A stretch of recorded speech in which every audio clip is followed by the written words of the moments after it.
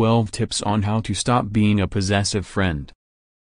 Do you get jealous when your friend hangs out with his or her other friends? Do you not want your best friend to meet new people? Do you want yourself to be his or her priority? Or, do you always tell your friend what he or she should do? If yes, you are being a possessive friend. If there's a possessive boyfriend or girlfriend, there's also what you call a possessive friend. If you start controlling what your friend is doing, it's time to take a step back and stop being a possessive friend. Here are some ways for you to do it. 1. Remember that you don't own your friend. Even if you're too close to each other that you are like siblings or even look like lovers already, remember that you still have no control of your friend's life. You don't own your friend, and no one owns anyone. Start changing your mindset, so he or she will not find the friendship stifling. 2. Assess your own actions. Whenever you ask your friend to do something for or with you, assess your own thoughts or actions first. Do you think you are being insensitive with his or her own time? Do you think you are asking too much from him or her already? Start being conscious of your actions in order to stop being a possessive friend. 3. Respect your friend. As a friend, you need to respect him or her. Respect her individuality. Respect his or her preferences. Respect his or her own decisions. If you are a true friend, you will give him pieces of advice, but you will not impose on your friend. You can't dictate what he or she should do because in the end, it's your friend's life. You are just there to support your friend just like how or she supports you.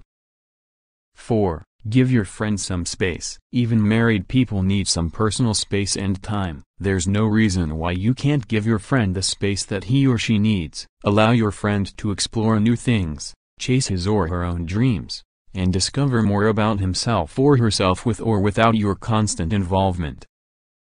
5. Be open to possibilities. There will come a time that your friend will no longer text you every day. There will come a time that he or she will have a boyfriend or a girlfriend, and you know where that usually leads to, right? There will come a time that he or she will no longer have much time for you. There will come a time that you will just stop communicating with each other. You can't expect your friend to stay and be there for you all the time. Hence, be open to every possibility. Be open to the idea that you might part each other's ways. If you are ready for those possibilities, then it will be easier for you to stop being a possessive friend.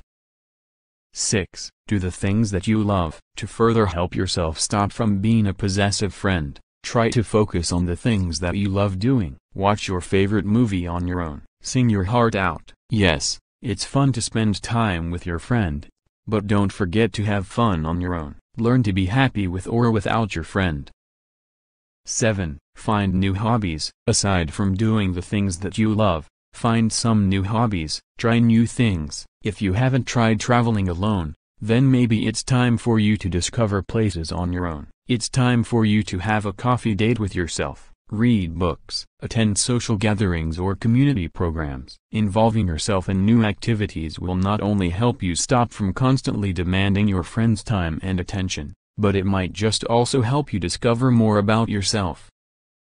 8. Meet new people. In order for you to stop being a possessive friend, make sure that you get to meet new people, go out, socialize, be open to the idea that you are going to have other friends. Your world does not revolve around your best friend alone, there's more that you can do. You will meet more interesting people along the way, just allow your social circle to expand. 9. Get to know your friend's friends. Since you're already open to meeting new people, you might as well maximize your potential resources. Instead of telling your best friend to not go out with his or her friends, why don't you go meet his or her other circle of friends? It's your chance to gain other friends. It's your chance to see why your best friend loves hanging out with them. Lastly, it's your chance to meet wonderful people and even learn from them.